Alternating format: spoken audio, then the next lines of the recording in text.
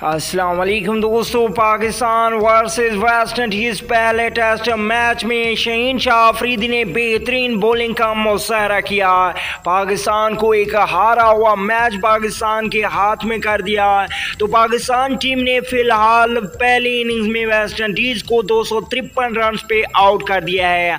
तो मुकम्मल आपको बॉलिंग कार्ड दिखाते हैं, लेकिन उससे पहले अगर आप शहीन शाह अफरीदी के फ़ैन हैं तो इस वीडियो को लाइक ज़रूर करना है। और अगर चैनल पे फ़र्स्ट टाइम है तो चैनल को सब्सक्राइब करके साथ बेल आइकन ज़रूर इनेबल कर देनी है।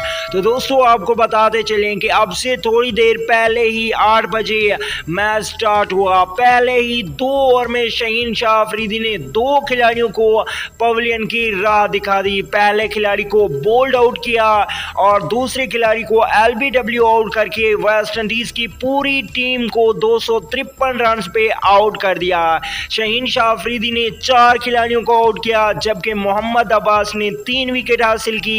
इसके अलावा फ़हीम अशरफ और हसन अली ने एक एक विकेट हासिल की।